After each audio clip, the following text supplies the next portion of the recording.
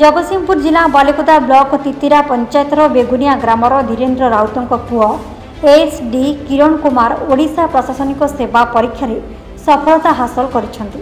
ଦୁଇଶହ ଅଣତିରିଶ ସ୍ଥାନରେ ରହି ସଫଳତା ହାସଲ କରି ତିତିରା ପଞ୍ଚାୟତର ବେଗୁନିଆ ମାଟିର ପୁଅ ଏସ୍ ଡି କିରଣ କୁମାର ଜଗତସିଂହପୁର ଜିଲ୍ଲା ପାଇଁ ଗୌରବ ଆଣିଥିବାରୁ ତାଙ୍କୁ ଚାରିଆଡ଼ୁ ଶୁଭେଚ୍ଛାର ସୁଅ ଛୁଟିଛି ଜଗତସିଂହପୁରରୁ ନଳିନୀକାନ୍ତ ମଲ୍ଲିକଙ୍କ ରିପୋର୍ଟ ଆମ୍ ଟିଭି।